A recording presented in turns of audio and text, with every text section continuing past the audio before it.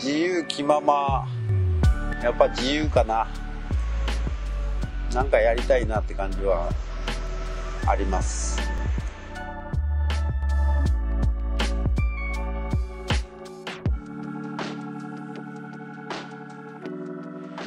赤や黒とか塗ってるよりもはるかに面白いです。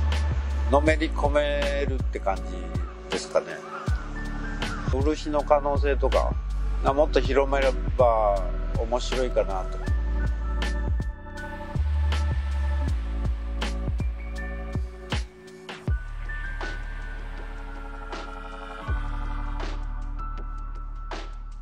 クラウドはあの海と空と雲をテーマにやってますけども朝昼晩とか色合いがいろいろ変化するんでちょっと漆の色を変えながらあ雰囲気を出してますけども夏場だと海に太陽が沈むんでそれも結構いい色だなと思いながら個性が伝われば能登も海も風とか